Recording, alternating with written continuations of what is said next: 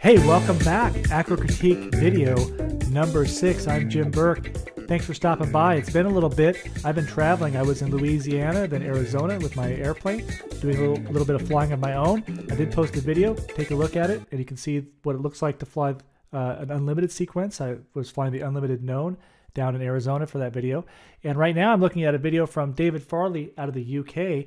David flies a CAP 231EX in the advanced category. Now this is the CIVA system over there. So they fly the advanced known, and that's what we're going to watch uh, David do. He's going to fly his advanced known for us. David said that he flies, he flew in the standard and intermediate categories with some success. He's moved up to advanced. He's trying to do a lot better in, in advanced. And he says maybe he'd even try unlimited, though he thinks he's getting too old. Let me tell you, David, I have a friend who flies. He's in his 80s. He flies unlimited. It's just, uh, it can be done. People can fly into their 60s and 70s. The nice thing about this sport, sort of like golf, is you can enjoy it into your older age. So don't let that stop you. But having said that, unlimited's not for everybody, and that's okay too. Advanced is a lot of fun. A lot of people enjoy advanced. So if you decide to stay there, more power to you. Let's take a look at the flying now. We're going to start with the WAGs. And I did watch this before, and uh, I did notice something right in the WAGs. It's kind of uh, in the theme, a thing that I notice in a lot of videos. I notice as a coach a lot, so I'm going to cover that right away during the WAGs. And that is basically that when you roll the airplane to knife edge and then beyond knife edge, so after that first bit of roll to knife edge all the way through to the other, other side, the down elevator must start coming in. And when you're knife edge, you generally will need some down elevator to keep the nose from drifting. And what I see in your in your uh, wags is a little bit of drift. That's probably showing up in all of your rolls. So I want to make sure that the first thing we do is just point that out. Let's take a look. In fact, if we look over the nose during the wags, you'll see that the nose is sliding slightly to the left with every wag. So right there, that's going to require you to add a little right rudder after your wags to the left to kind of get back on the line. It's going to make you feel a little less confident. If you can get that right off the bat so that you're adding in the down elevator and keeping it in a little longer as you're rolling back to level, you'll be happier right away and you'll use that technique throughout all of your flying. So it'll help you everywhere. Okay, let's continue on now. Now, David's nice enough to put the figures up in the upper left corner so we can see this first figure is a double Humpty. Pull to vertical looks good. I would say that in that pull, looks like you're slowing down the rate of pull at the end as you near vertical. Let's try not to anticipate anything. Let's always just pull with gusto and then pop it to the line. It's going to look better, it's going to feel better, and it's going to give you more energy as you're going up the line when you have roll combinations to do. So here we are on the vertical line after a half roll, and now we should be pushing to vertical down. And right about here is when the rate of rotation has to increase in the push that we don't end up closing low. So be aware of that. Okay, and on that pull there, after the half roll, what I notice is if we look over the, the nose, and I'll have to wait for the roll here, look over the nose at a point, I can see a point right here in the ground and there's a bit of dirt. I can see that the nose is occluding that or trying to occlude that, which means that the nose is not um, uh, pointed straight down. You're actually changing that line. Maybe you're anticipating, or maybe you're just not giving enough forward pressure to counter the trim of the aircraft as it's accelerating. Be aware of that. We can probably see that later on as well if we keep watching. All right, now pull to vertical. This pull looks nice. Let's make sure we keep the pull going. Not too bad. I do see the that you're sticking the, the stick, but you are letting up on the G's or letting up on the pressure on the stick force as you get near vertical. I can see that in the way that the, the plane is reaching that vertical line. So there's really, you know, two things can be happening there. One is just not paying enough attention. That's fine. The other one is you're thinking about, I've got to make sure I hit this vertical line. I've got to make it right. It's better just to pull and pop it to a line that's close to vertical than it is to wait and, you know, make that line perfect. It's not worth that much effort. You need the energy that you'll have if you just pop it to, to the line. Okay. Enough of that. Let's move on and now we'll be capping off and getting ready for the spin. I like that technique, stabbing the stick forward to start the, the, the push. It's always good because what you're doing is you're showing the judges a break so they can see that the line has ended and now the radius begins. I like that technique. Now the spin. Now we could have a little more time between that push from vertical and the spin. Maybe another second would be better. That seems a little rushed. And then during the spin, the spin entry, there's really almost no yaw rotation at all at the beginning. So here, let's look at, here's our, here's, we're in our horizontal line, really only about a second and a half long. So it needs to be a little longer for sure. And then we watch the entry and the nose comes down without a lot of, of yaw. And then the rotation of the spin, what I see in that is it looks like, it could be the camera, but I don't think so. It looks like there might be some left aileron in that spin. I say that because it really looks like the center of rotation is not in front of you or in your, at your where your body is, or right in front of your body, centered in the airplane. It really looks like the center of rotation is more over to the left on your left side. If I just watch that again, and I don't know for sure, but I think probably what you're feeling in the cockpit is probably that you're being pushed out of the spin with your body. And that's a sign that you're not spinning um, around the center of gravity of the airplane enough. So maybe that's a clue, maybe not, but let's take a look here again. Nose comes down. And then, yeah, I really do feel like it's spinning uh, just slightly off to your left. And as far as the spin entry goes, if um, I think you'd be better off if you pushed the cap off a little earlier so you had a bit more energy, kept the nose higher, and then went ahead and drew a line that lasted a little longer. So when you get your spin entry in, it's not just like you're coming up, capping off, and then immediately going and sagging into the spin. Just go ahead and give yourself a little more energy on that vertical line. I think your spin entry will be better. Okay, so now after the spin, we now have a pull to a 45. Let's watch this line here. Now, I'm going to watch to see if this doesn't change while you're on the vertical line. Unless you're being pushed from beneath the airplane in this direction, this distance here should stay pretty constant as you're going down, right? But you can see that closes up. So that's another example of where the plane is just being allowed to pitch on that vertical line down. That does that is something a judge will see. Judges will hit that as um, um, you know a, uh, a change in line. They'll see that. So that's when we have to definitely fix. So some of these things that there might not be the best technique, but the judges won't see, like some of the things I mentioned about your roll during the wags.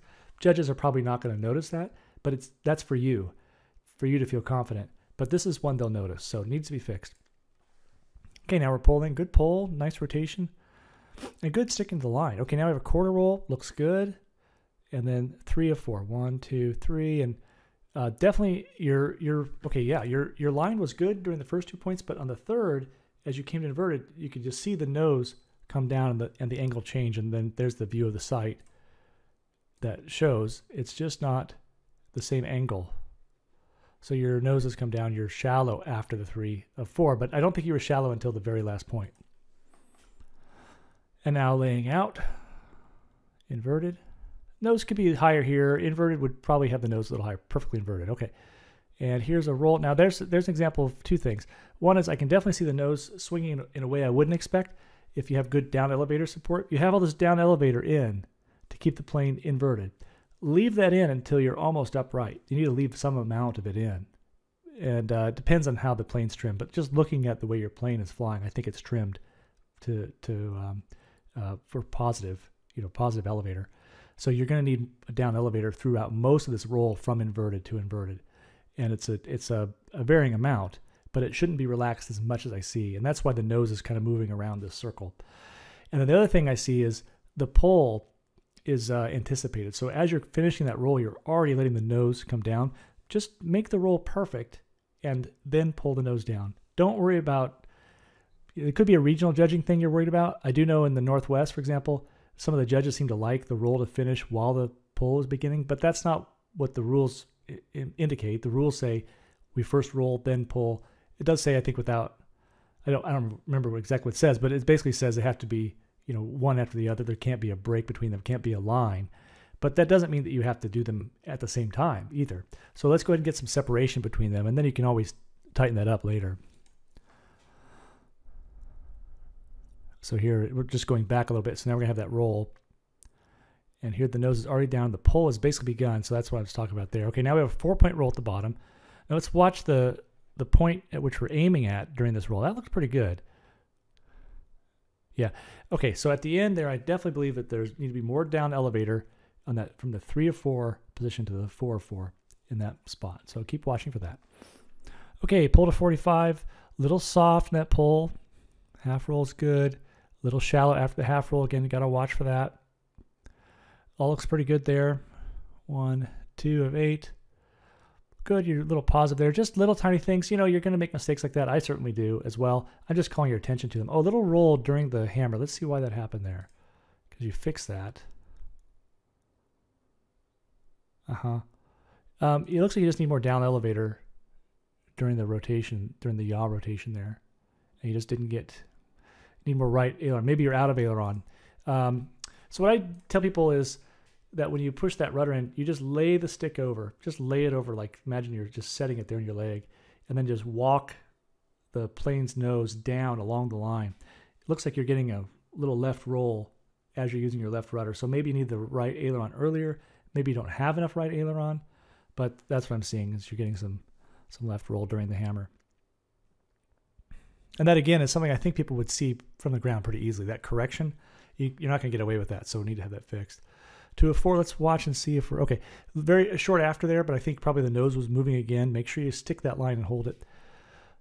Okay, pull vertical, figure five here, and that should be a three of four. Look like the first point is a little short, but that's pretty good. And now push, and you're going to be a little, it must be, so you're very slow there. So that's probably just need to be faster going into it. Practice um, when you're, when you were short after before, maybe, um, or maybe you need to be a little higher so you feel comfortable. That's fine too, but more energy going in always helps. The next thing is when you pull that line, if you have a three or four, man, you got to hit that right away. Pull, snag it back, do a nice crisp pull to the vertical, stop it. Um, this is where it really hurts you to be gentle at the end of that pull. It needs to be very, very crisp because it gives you more, more time, gives you more distance, more speed with which to, to do your three or four. And then immediately hit that three or four. We'll go back and look at it here. Okay, we'll go back to this. Okay, so we're doing our two of four. And what we want to do is pull and just hold that rotation rate. That's not too bad, but now roll. And sometimes with the planes, it just doesn't have the, the vertical and uh, maybe you don't have the airspeed. You just have to roll right away. Uh, you can't let yourself feel like you got settled. You have to be ready to go with the roll. And that's just why you're stalling out up here. Okay. Now on your, on your 45 down, and you should have a half roll. This looks pretty good. And then a push. And here, um, I, I notice your iPad is uh, it just scares me. I don't I don't you don't need an iPad to do aerobatics. Maybe you need it to get to where you're going and you have a cross country. Okay, I understand. But uh, boy, I hate to see that sitting there. I'm afraid it's going to come off or just get, you know get wedged in somewhere that you wouldn't expect. Slide down your leg and interfere with the rudder pedal. It's just if there's unless you just absolutely have to have that, I don't think you should have anything in the cockpit that isn't completely nailed down. I mean, it really has to be very very tight, and it's a matter of discipline. So I would recommend you get rid of that. I would just worry about you if that's in the cockpit with you. Okay. The push looks good. It looks a little soft. I mean, here I am sitting in my comfortable chair telling you that you need to push harder. And it's no fun, but but um, if you're gonna when you push, you just have to get the push in and keep it in and and then let the you know let the forces build up and then relax it only when you reach your point. You can't get soft at the end. That happens a lot, but it looks a little soft at the end. Just try not to do that. It just scores better. It looks better. And it's the, the rules require a constant radius. So it's kind of what you have to do really. Even if that means you back off the amount of G's, the negative G's, instead of doing negative five, maybe you do negative four or negative three. Maybe that's a better compromise than pushing hard and then relaxing. Okay, quarter roll, three quarter roll. That looks like the nose is swinging again down the elevator support. We covered that. Okay, on the on the half loops, looks good. I just want to say the general idea here is just uh, tug the stick back and just leave it where it is. Don't float. I'm not saying you are floating, just a general practice for people. We don't finesse half loops, not like a, a loop where we try and float them, because what we want at the top is a lot of speed so we can do roll combinations. So pull the stick back, pop it, leave it there until we're at top. And that's basically how we do it. Now we have a one and a half roll. Okay, so there's definitely some rudder play at the very end there that, that shouldn't be needed if the roll was axial. So just keep thinking about that as you're working through this. Do I would say more roll drills, just three rolls, linked rolls. I recommend that a lot. And let's watch the snap here. Okay, so the snap is interesting because there are a couple things about the snap that I notice. One of them is that um, I do not see the nose coming up and then yawing over. It should go up and then yaw over at which point the rotation should begin. We call it auto rotation. But uh, there's sort of a step by step process that should happen in a snap roll nose up, nose over, auto rotation. I'm not really seeing that. I'm seeing more of an arc to the nose. The next thing is the nose is ending up high. After the snap. So what's happened? What uh, the, the first problem is solved by um, changing your timing. When does the foot go in? Is it going in all the way? Probably needs to go in earlier. When does the aileron go in? Probably needs to go later. Um, how are you unloading? Probably needs to be unloaded more forward before you go to the aileron. I can't quite see your hands, but those are the things to start playing with. Just experiment. Do it wrong. Do it wrong this way, then do it wrong that way. It's okay. Go have some fun. Change the timing, but don't do it the same way every time because the way you're doing it isn't quite what I expect to see. So just try it different ways. Then the next thing is um, with the nose being high after the snap. Well, when you if you were to do this um, uh, the, the expected way, you would load the airplane up. The rudder would go in at the same time or nearly the same time, maybe slightly after, but let's say the same time is, is convenient. And then you would unload straight ahead and then hook over. Now you're in the, the snap. That's the basic mechanics for that. Okay, now we're in the snap. Now we want to end the snap. At that point, you need to release the, the rudder and the aileron, but not the unload, not right away. The unload is released after. So just as the stick goes back and then forward and hooks, it unhooks and comes back to center. If we take the stick, move it forward and hook, and then hook in the wrong way or hook on a diagonal, no hook, come back to on a diagonal to the center position, then the, the nose will not be where we need it to be. We'll end up with, uh, with the nose high because we pulled it high to begin with. We actually need a little down elevator to, to keep it down at the end. And um, to some extent, it all depends also on um, on how the airplane just kind of flies, how it likes to do snap rolls, how um, how brisk you are with the inputs. You know, if you if you're yanking the nose up way too high, the nose will end up high afterwards also. So it could be something else, but I think that's the thing to try is just the timing and the depth with which you're unloading. I think it looks like you might not be unloading forward very much. You might be pulling the stick back and then just kind of slamming it over to the side. That is um, going to get you something that looks a lot like a snap from the ground, but it's not exactly what we what we need, not the inputs we need to have a real snap roll. Uh, I, I do know when I when I first started snapping, I had a coach tell me to just to do that, and it wasn't bad advice. Just pull the stick back and then rudder and aileron at the same time, and that's basically how, how you snap. Well, that's not a bad way to go at the beginning because it'll probably score almost all the time. But it's not what we need to do. We need to, at advanced, we need to start doing more than that. We should always do more than that, but you know, once you're past the training wheel stage, I mean. Okay, great. So, otherwise, good stuff there. Um, and now here with the, iPad. So yeah, you, just see it's it's so common. People have stuff in the cockpit that they're fighting with it just this is hard enough. Just get it all out of there. No, enough said. Okay, pulling vertical, very soft pull, but you're not going very fast. Just remember the technique is to uh, still to snatch a stick back just to a lower G level, so the so the airplane can carve. Hammerhead, and now one and a quarter roll. The one and a quarter roll looks a little slow. I can't. I don't know if maybe you're using full aileron, but make sure that you are. Make sure the stick is always moving very quickly back and forth. And again, short after, almost no line after at all in this here, in fact. Let's watch that again. Well, there is a line after. It's just I'm, I'm seeing the, the nose drift, so it's the same issues before. So there might be enough line after. Okay, oh, lay down Humpties. Now, these are interesting for advanced pilots. The, the, one of the tricks about these is that you can draw these lines a lot longer than people think. Very hard to judge that snap. I'm going to let that one go. And the push. Okay, this is this looks good. What um what you can do with these, I'm just going to pause it. What you can do to these a lot of times is draw that first line out and then just go ahead and chop the throttle as you're starting to push, and then bring the throttle back in when you get about here. That can make the that push look a lot tighter. I don't know if you needed to. It looks like you did pretty well, but what you don't want to have someone do, which happens a lot, is to get up there, still be moving really, really fast, and carve a really, really big push humpty at the top and it doesn't look um, round. It doesn't look centered because they get going faster and faster and faster, and then the G's build up, and they they start getting you know um, upset over it, and they they relax. That looks pretty good. But you but if you want to, you could try drawing that line even longer and then chop the throttle and try and make a real tight radius on top. If you don't bring the throttle back in, you'll probably stall. So you got to add the throttle back in at the right moment. Just experiment. Now we have a two of four. Okay, it's still a nose drifting after the two of four, I still see the nose just to just to show you, a little hard to to show here, but if I stop it, this is how much space there's between this line and the nose right now. And we're, we're just kind of just rounding from there all the way into the level line. Just, just stay on that line. Just enjoy that line for another second without letting the nose move. Okay. Figure nine will be next. Two of two. Yeah, it's another one where I can see the nose swing because there's not a down elevator support. I know I've said it, but that's really a theme, so let's keep with it. Half roll. Now we've got one and a half snaps. We get to see another snap.